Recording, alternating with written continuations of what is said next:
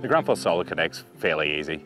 The box comes with pretty pictures on the outside so you can see how it's meant to be installed. If you can pull a TV out and put a TV together, then you'll be able to put a Solar Connect together. It's a little module that just needs a few tek screws to go into the solar panel, some cable that just runs back in, and then we've got pre-defined terminals to wire into the control box. You just need some basic tools and in no time you can have it installed and up and operational. I'd say that probably half an hour you'd be done and dusted with it. Anyone can do it, you just need a ladder and drill bit to drill the screws in.